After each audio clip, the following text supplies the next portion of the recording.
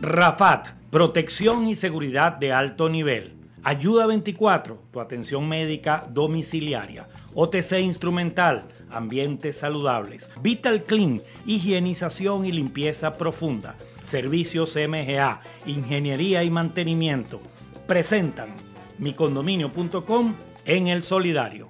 Tenemos ahora la inquietud del vecino Fernando Rodríguez desde los valles del Tuy para micondominio.com en alianza con el solidario de la televisión. Te preguntan, Elías, ¿los locales comerciales deben aportar para la reparación del ascensor? ¿Qué responde Elías? Sí, Fernando, sí si estos locales comerciales están en el documento de condominio, están en el ámbito de la propiedad, deben aportar. ¿Qué sucede? Que es que esta ley del año 1958 es del año 1958. Aquí se habla, bueno, de, toda la comunidad, de todos los espacios que están en el documento de condominio. Entonces, los locales comerciales, que es este modelo eh, europeo de los edificios con un nivel de oficinas y un nivel de locales comerciales que son extraordinarios, son muy gratos, pues estas personas que son los propietarios de los locales eh, probablemente dan a la calle, ellos no se benefician del trabajo de la conserje, no utilizan los ascensores ni la bomba eléctrica, quién, quién sabe.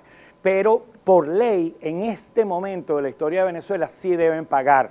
Cuando nosotros reformemos Fernando, la ley de propiedad horizontal, como por ejemplo se hizo en España y se creen módulos, los, edificios, los, eh, los, bienes, los locales que no se benefician de determinados servicios no tendrán la responsabilidad de aportar. Pero en este momento, en esta situación, sí tienen la obligación de hacer un aporte para el mantenimiento, para el sostenimiento, no solo de los ascensores, sino de todo lo que son los, las áreas y los servicios comunes.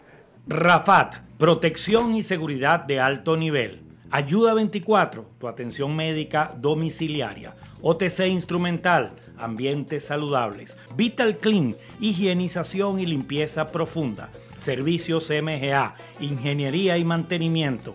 Presentan micondominio.com en el solidario.